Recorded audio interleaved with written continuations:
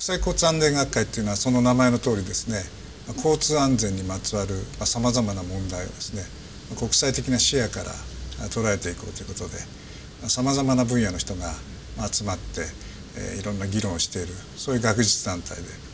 研究調査を行うそれからシンポジウムを開催するその他学術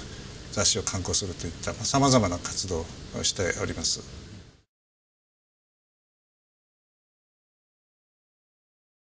先ほど申し上げましたようにこの学会ですねさまざまな分野の人が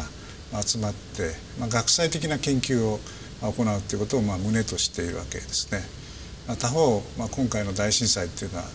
いろんな問題複雑な問題かつ多様な問題そして長期にわたる問題を抱えているわけで、まあ、そうした問題に対してですね一つ一つの専門分野で対応するということはなかなか難しいといった時にですね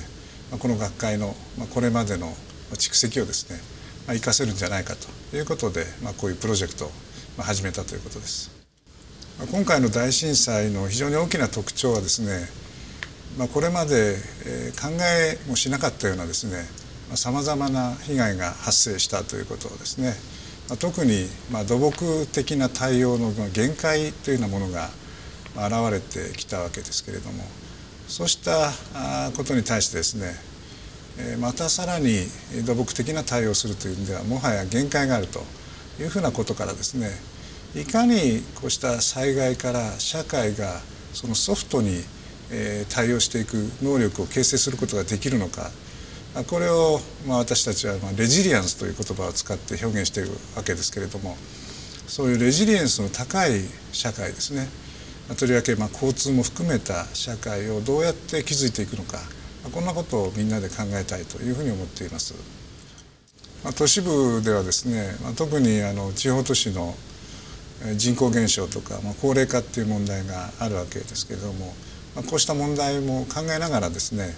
都市の復興ということを考えていくとするとですねやはり一つの方向性としてはまコンパクトなまちづくりを進めていくとそしてまあ地域コミュニティを再生する、まあ、こういうところが一番大事なテーマだと思いますね。それから農村部はこれはもう言うまでもなく、まあ、農林水産業これをですね、えー、どうやって再建していくかですね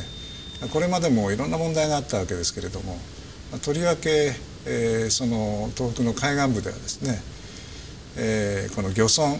漁業こういうものをどうやって再建していくかこれ非常に大きな課題だと思いますね。私はですねあの人間と自然がどうやってうまく付き合っていくかということを長年研究対象としてきたわけですけれども、まあ、改めて、まあ、今回の大震災と、まあ、その驚異的な被害こういうものを目の当たりにしてですね改めてやはり日本の自然というのは恵みでもあり同時に脅威でもあるんだと。そういう自然というものとどういうふうに付き合っていくかですね。もう一度考え直さなければ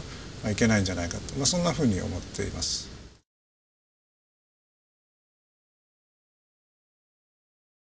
私あの海外で今度の大震災に関わる、まあ、いろんなあの報道を見聞きするんですけれども必ずしも日本の実態が正しく伝わっていないといった問題があります。ですからこの日本のですね情報をまあ正しく海外に発信していく。こういうことも大事ですし逆にですね国際社会からのいろんな声というのをですね日本に伝えていく。これも重要だというふうに思っています。そういう意味で、え、国際的な情報の発信交流はとても大事なテーマだと思います。またあの私思うんですけれどもよくあの今度の大震災をですねこれまでの日本のいろんな震災と比較しながら論じる方多いんですけれども実はあの1,000年に一度というふうに言われていますけれどもごく最近スマトラ沖の大地震がありまして、まあ、その結果として津波が発生したわけですけれどもそれも実はものすごく大規模な災害をもたらしているわけですね。でそういうものとむしろ比較することによって新しい発想が生まれたりあるいは日本の体験が海外にですねまあ、いわば教訓として伝えていくというようなことができたり、まあ、そういう意味での国際交流っていうのも十分可能じゃないかと思ってまして、まあ、そういう点もよく考えていきたいというふうに思っています。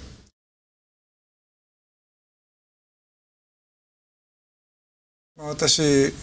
何度かこの被災地をですね見る機会がありましてまその見た結果として思うことはですね被災地っていうのは実に多様な被災状況であるということですね。自然的にも社会的にも様相が大きく異なる。そうした多様性を持つ地域の被災状況それからその復興過程これを考えますと何か自分の研究者の立場としての考えをですね地域に当てはめていくっていうこういうふうに考えるのは少し無理があると思うんですね。むしろそうではなくて研究者が地域に入り込んで地域の人たちと一緒にですねその地域の自然的社会的な特性に合うような復興の在り方について考えそして提言していくこれが私は本来の研究者としてですねこの復興支援に取り組む基本的な姿勢なんじゃないかな、まあ、そんなふうに考えています。